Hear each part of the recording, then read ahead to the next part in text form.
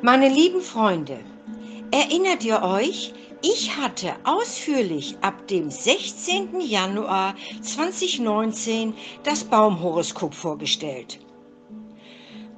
Heute möchte ich auf die Eigenschaften eures Seelenbaumes eingehen.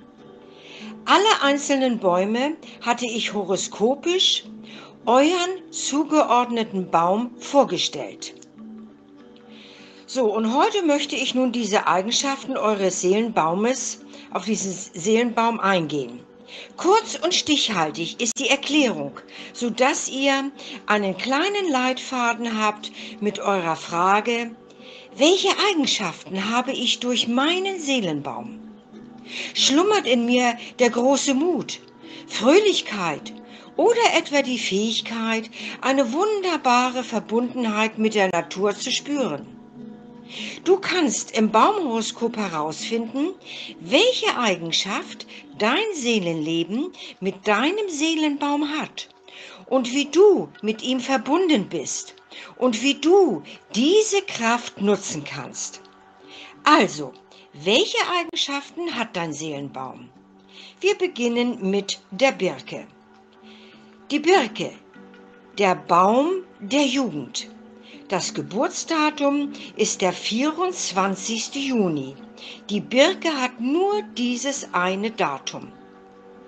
Auch die Buche gehört nämlich zu den vier besonderen Bäumen und das Baumhoroskop besagt, wer im Zeichen der Birke geboren ist, dem wird es niemals schwerfallen, tief in seinem Herzen stets jung zu bleiben.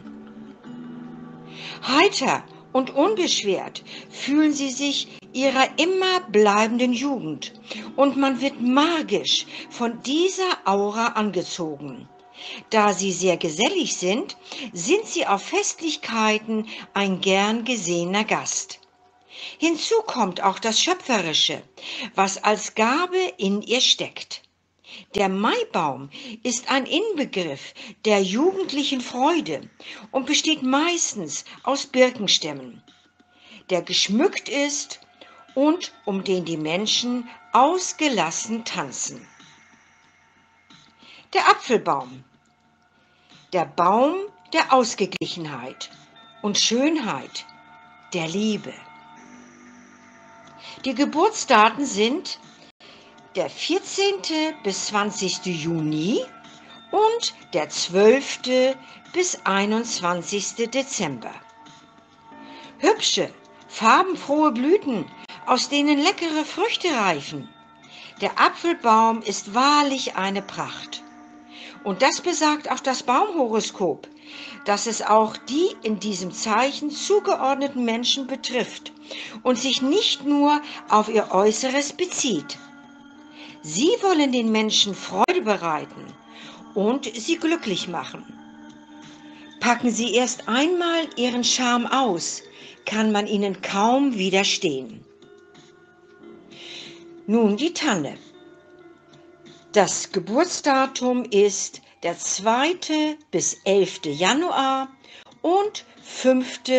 bis 14. Juli der wertvolle Baum des Lebens. Das Baumhoroskop besagt, dass man bei Tannegeborenen stets weiß, woran man ist. Unüberlegte Meinungs- und Stimmungswechsel sind absolut nicht ihr Ding. Und sie akzeptieren ihr Leben so, wie es gerade ist. Als die geheimnisvolle und dies Geheimnisvolle ist einfach das, gilt darin, wo sie sich an Weihnachten festlich schmückt. Denn es ist der Tag, an dem der Heiland geboren ist. Das waren die ersten drei Bäume, die ich euch vorgestellt habe, eure Seelenbäume. Und die nächsten Bäume sind Ulme, Zypresse und die Pappel. Bis dahin, herzlichst eure Deria.